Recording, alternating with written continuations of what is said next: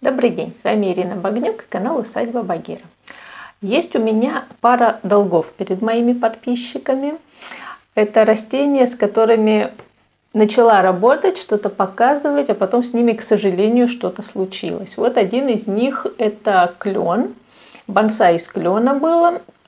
Э, к сожалению, он не пережил возвратные заморозки – это пару лет назад он, э, начинались с ним работы. Поэтому я довольно долго искала похожий, ну, во-первых, того же вида, а во-вторых, как бы так, слегка похожий. Это не так легко, чтобы он устраивал по всем параметрам. В общем, прошлой осенью был куплен вот этот клен. Он пока еще в своем горшке родном, я его не пересаживала, посмотрела, что там неплохая земля.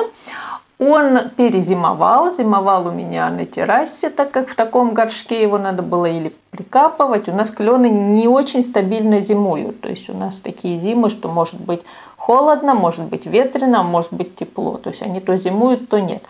Поэтому зимовал он на террасе, было ему не очень там холодно.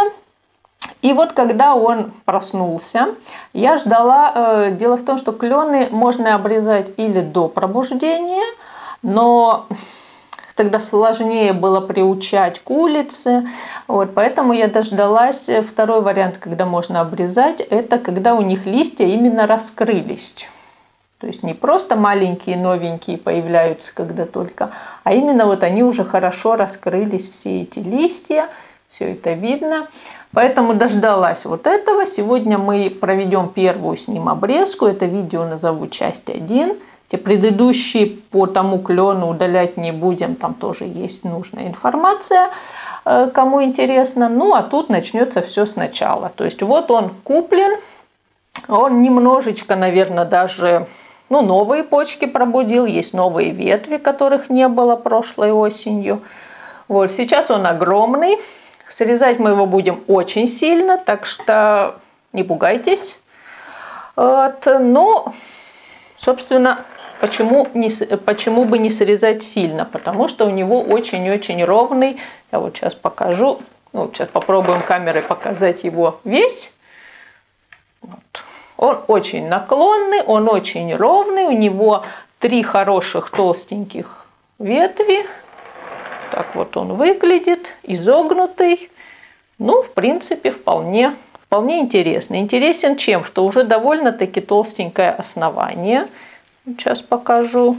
То есть, как я его выбирала потолще. Плюс уже, сейчас разгребу, будет видно.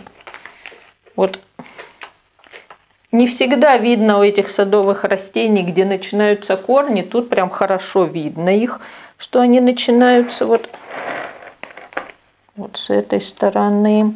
Вот видно, что уже кора здесь чуть-чуть меняет другой цвет, то есть не молодая, вот эта вот э, такая вот э, буренькая, а уже немножко другая, уже имеет какие-то полосочки. Вот. Ну, а дальше смотрим просто, чтобы внизу было больше ветвей, и с ним начинаем покупаем, выкапываем, не знаю, кто где как получает, и потом начинаем работать. Итак, что будем делать? Э, его, по идее, можно было бы сегодня э, по времени года, по его вот состоянию, можно было обрезать и пересадить. Причем уже, судя по его толщине, можно в плошку пересадить. Но так как у него будет огромнейшая обрезка, то есть ну, вот уже веточки, э, ниточки наверняка заметили, обрезка будет очень большая, я дам ему время на то, чтобы он пришел в себя, то, чтобы веточки новенькие, какие есть и какие мне нужны э, временно или не временно, уже на постоянную, чтобы они окрепли, потому что если мы и обрежем, мы полезем в корни, а чтобы посадить в плошку корни придется и обрезать, и тревожить, чтобы их как-то расположить э, в плошке.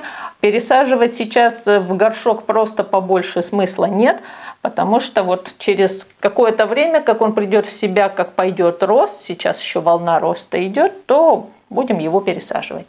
Значит, что мы будем делать? Ну, начнем с самой основной ветви. Вот, я, вот она большая, это это самая-самая основная, самая сильная, э, самая первая проснувшаяся. Вот ее мы будем сокращать. Сейчас я ее обрежу и тогда объясню, почему там. потому что иначе не видно.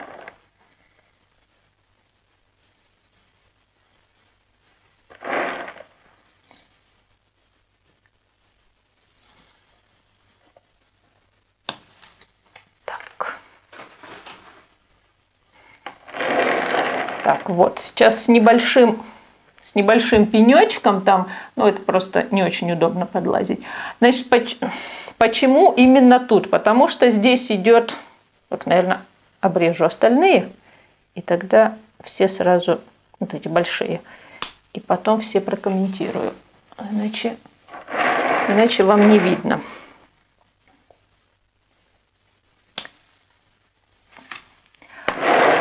Так, вот, начинаем с нее. Почему именно здесь? Потому что дальше она шла, чтобы было понятно, что делать со своими. Вот, посмотрите, ровная, ровная, ровная, одной толщины. Где бы мы ее не обрезали, нам надо уходить на вот какую-то из этих ветвей, чтобы они стали вершиной, то есть переназначить вершину, чтобы была хоть какая-то конусность, потому что так он вон очень-очень долго идет абсолютно ровный практически. Тут чуть-чуть тоньше, но это ни о чем. Э, почему именно там? Потому что эти вот веточки более полого идут в стороны. Вот одна, но только самая такая слабенькая идет более вертикально.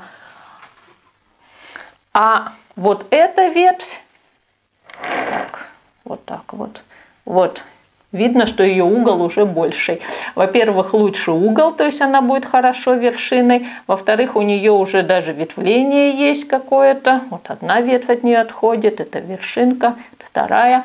Поэтому она будет у нас вершиной. Она или сама вот так слегка станет, или когда будем пересаживать в плошку, то тогда мы ее проволокой немножечко подкорректируем. Сейчас пока не буду. Сейчас надо просто обрезать, зачистить место среза и потом замазать. Вот. Так что с вершиной определились. Это будет вершина. Почему, опять же, еще она вершина? Так, я его рассматриваю. Тревала. Вот если правильно повернула, то вот примерно ориентировочно вот это будет лицо. Сейчас ветви уберу, вот именно по стволу смотрим. То есть он вот так вот, ну, более-менее интересно изгибается, потому что, судя по тем толстым корням, что там внизу э, видны уже, сильно его мы не сможем не приподнять, не сможем сильно, ну сможем там немножечко в стороны наклонять, но не очень. То есть такой вот э, изгиб вот этот будет. И она будет вот так также изгибаться. Плюс это получится, ну, не совсем на спине срез, но все равно не, не, не совсем на лице. Так что вот так. Клены растут быстро, так что срез этот зарастет довольно быстро. Потом вот, вот эта вот ветвь следующая. Вот это вот, это толстая ветвь, хорошая. Скорее всего, она будет оставлена. Возможно, я ее сегодня если получится, как-нибудь попытаюсь изогнуть.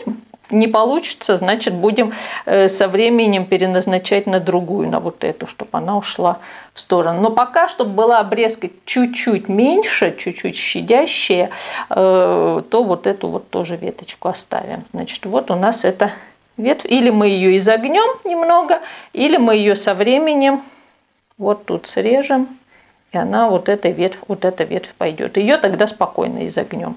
Все нижние пока остаются в любом случае. Ой, вот все-все вот это. И те, которые выглядят Т-образно с одной, со второй стороны. И те, которые довольно низко, пока остаются на утолщение ствола, во-первых. А во-вторых, на то, чтобы сейчас его поддержать. Потому что обрезав все вот это, ну, вдруг мы, мы думаем точно, что нам не нужно, да, то уж совсем будет маловато, слишком, слишком большая обрезка.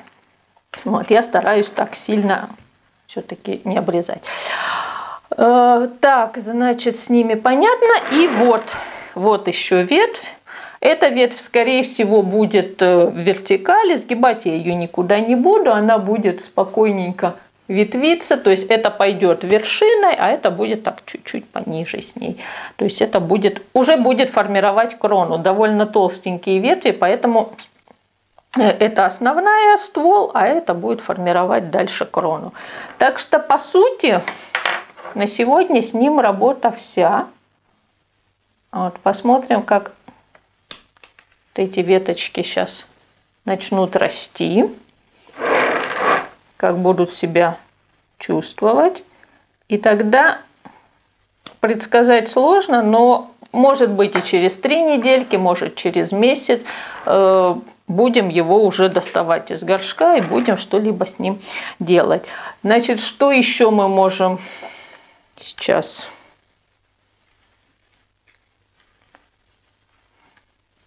Ну, эти все довольно-таки прищипывать ничего не надо. Все, все эти веточки могут пока быть, могут пригодиться, поэтому прищипывать мы их не будем. Еще почему вот вот эту ветвь, по-моему, последнюю, или эту, срезала именно в том месте, потому что можно было бы взять вот, вот эту веточку, а не вот эту, да, начинающуюся. Но тут уж совсем большое пустое место, шансов, что тут что-либо проснется, э, как-то маловато, поэтому решила ее ниже. Так что на данный момент это все. Срезы замажем. И отправляется он уже на улице, уже видны красноватые листики, он уже привыкает каждый день, выходит на улицу погулять. Нас просто еще обещают э, по ночам какой-то минус. Естественно, в такие ночи я заношу э, растения в дом, ну, в дом на террасу. А так на улице постепенно приучаем, так как он давно в этом горшке сидит, то можно его подкармливать. Причем э, с подкормкой я постараюсь в ближайшие недели сделать видео вообще о подкормке бонсай.